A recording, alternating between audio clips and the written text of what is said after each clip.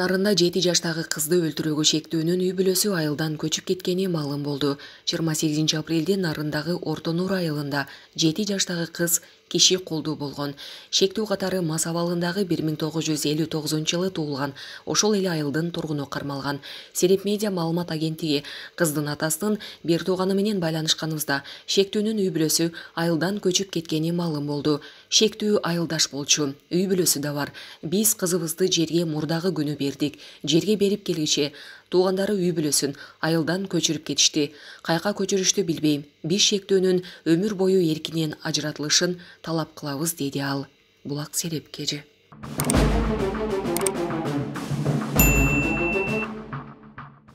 Атасы мектепке унаа менен алып барчу. Нарында киши колдуу болгон жети жаштагы кыз тууралуу маалымат нарындагы орто нур айылында жети жаштагы кыз киши колдуу болгон. Шектүү катары мас абалындагы бир миң тогуз жүз элүү тогузунчу жылы туулган. Ошол эле айылдын тургуну кармалган.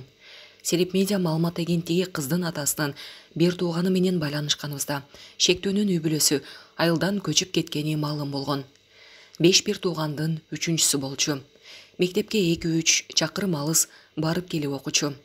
Кышында атасы унаа менен ташып жүргөн күн жылып жазгы талаа иштери башталганда алып барып келүү үскүлтүккө учурап калып жаткан. Азыр ата энесине да оор болуп жатат. Кызыбыз мектептен кечигип жатканынан издеп баштап ушундай оор нерсеге туш болдук. Мындан улам айылда арак сатуу маселеси да каралды шектүү өмүр бою эркинен ажыратылат деген ойдобуз жана ушундай талап коебуз. Эгер өлкөдө акыйкаттык болсо аны өмүр бою эркинен ажыратыш керек муну өлүм жазасына тартуу аздык кылат деди ал.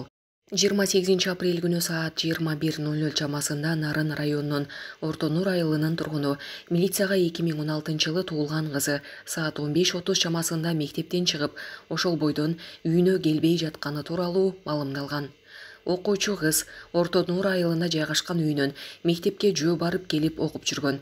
Жыйырма сегизинчи апрель күнү саат он эки ноль ноль чамасында өзү жалгыз мектепке кетип кайра саат он беш отузда сабактан чыгып болжол менен саат он жети ноль ноль он жети отуз аралыгында үйүнө келбей калгандыктан апасы милиция кызматына билдирип жана айылдыктардын whatsapp группасына кызы жок болуп жаткандыгы тууралуу жазган айылдын тургундары чогулуп издеп жүрүшүп саат жыйырма эки он чамасында кыздын жансыз денесин орто нур айылында киши жашабаган үйдүн ичинен табышкан сыртынан кароо жүргүзүүдө күч колдонулган белгилери аныкталган ыкчам иликтөө иштеринин жүрүшүндө милиция кызматкерлери тарабынан кылмышка шектүү делип бир миң тогуз жүз элүү тогузунчу жылы туулган орто нур айылынын тургуну мас абалында табылды.